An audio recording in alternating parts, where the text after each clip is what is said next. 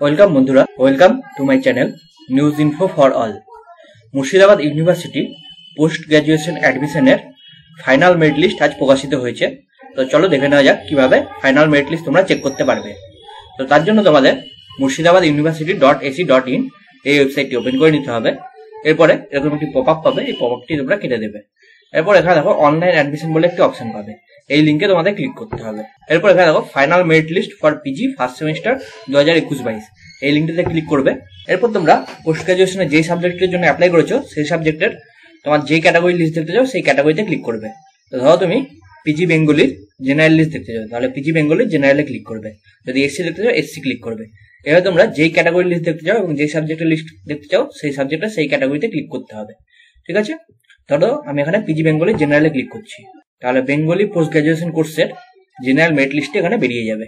তো দেখো এখানে লিস্টে বেরিয়ে গিয়েছে। এখানে দেখে নেবে তোমাদের নাম আছে কিনা। যদি এই লিস্টে তোমাদের নাম থাকে, তাহলে তোমরা অ্যাডমিশন করতে পারবে। তো এরপর তোমাদের অ্যাডমিশন কবে থেকে শুরু হবে? তোমরা যদি এখানে ডেট ক্যালেন্ডারে যাও, তাহলে দেখো, আজকে উনিশ তারিখে ফাইনাল মেরিট লিস্ট প্রকাশিত হয়েছে। এরপর তোমাদের ফার্স্ট রাউন্ডে অ্যাডমিশন লিস্ট একুশ তারিখ বেরোবে। অর্থাৎ একুশ তারিখ থেকে তোমাদের অ্যাডমিশন শুরু হবে। এবং তোমাদের যদি ফাইনাল মেরিট লিস্টের নাম থাকে, তবেই তোমাদের অ্যাডমিশন লিস্টের নাম আসতে পারে। ঠিক আছে? এই হলো সম্পূর্ণ আপডেট কীভাবে তোমরা ফাইনাল মেরিট লিস্ট চেক করবে মুর্শিদাবাদ ইউনিভার্সিটির।